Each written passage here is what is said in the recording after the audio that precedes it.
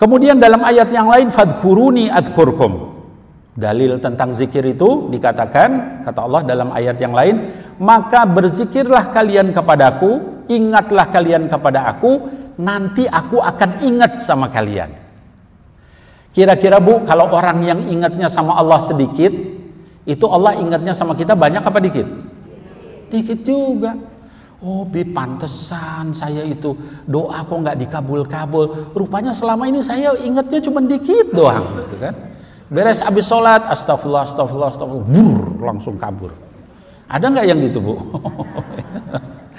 nggak ada di sini orang soleh semua ya, di kampung saya gitu.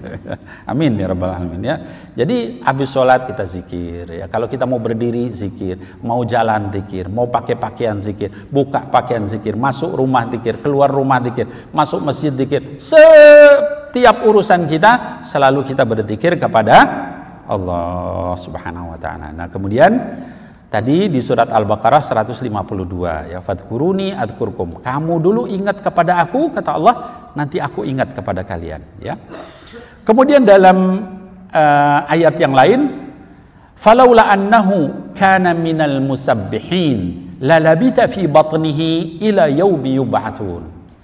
Dan seandainya dia nah, siapa dia ini? Kita lihat dulu hadis apa ayatnya lengkapnya. Falaula annahu kana minal musabbihin. Seandainya bukan karena dia ini adalah seorang yang banyak bertasbih. Masya Allah. Lalabita fi batnihi ila yaumi yub'atun.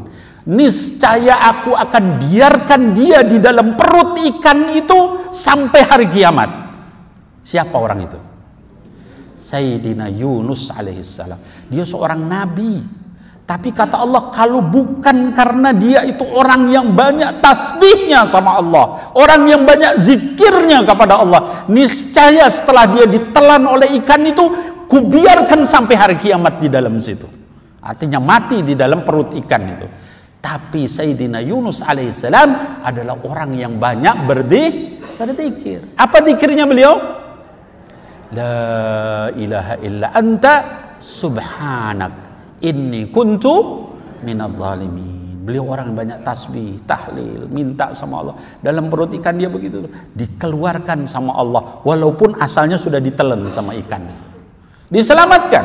Kalau Sayyidina Yunus saja yang ditelan ikan bisa hidup kembali keluar, apalagi kita yang cuman kurang hartanya, gak, apa namanya punya hutang, sakit, anaknya bermasalah dan sebagainya, lebih mudah lagi buat Allah untuk mengabulkan kita. Seandainya kita adalah orang yang banyak berzikir kepada Allah Subhanahu wa taala. Itu istimbat dalil dari ayat ini, ya. Jangan kemudian kita oh iya dia banyak berzikir. Tidak. Dikatakan kata Allah kalau bukan karena itu dia terus di dalam perut ikan walaupun dia seorang nabi, ya. Alaihi salam Sayyidina Yunus mudah-mudahan Allah mengasihi beliau ya karena kecintaan beliau terhadap dikir kepada Allah dia mengulang-ulang itu terus. Akhirnya sama Allah dikeluarkan itu musibah besar. Apalagi cuman kita yang kecil-kecil. Apa sih masalah kita? Ada yang ditelenikan? Mati kalau ditelenikan. Ya. Nabi Yunus itu diselamatkan Allah karena dia berzikir. Kita paling masalah kita punya hutang ya. Masalah kita uang kita sedikit nggak cukup. Masalah kita mungkin dengan suami dengan anak dengan hal-hal kecil semua Caranya gimana? Dikir seperti Sayyidina Yunus alaihissalam. Ini Allah yang sebutkan di dalam Al-Quran. Ya.